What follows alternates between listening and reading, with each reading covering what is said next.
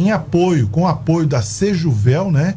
Acontece segunda-feira um torneio que quer arrecadar brinquedos e esses brinquedos serão doados às crianças carentes.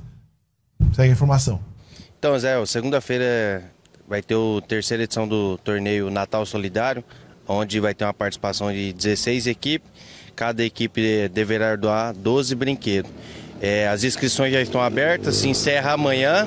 É, se algum time quiser participar, entre em contato comigo pelo Instagram ou pelo meu Facebook, Juninho Tele. O que, que é, esses brinquedos vão ser doados para quem? Todo brinquedo arrecadado vai ser doado ali no bairro Rosmar Dutra e nos bairros vizinhos. É a terceira edição, já se tornou tradição a esse campeonato no fim de ano. Sim, já é a terceira edição. Esse ano diferente, vai ser num local, é, não vai ser na, na quadra, esse ano vai ser lá no Camisa 10, no campo sintético. O campo do Camisa 10 fica ali na rua Yamaguchi, é, antes de chegar na BR ali.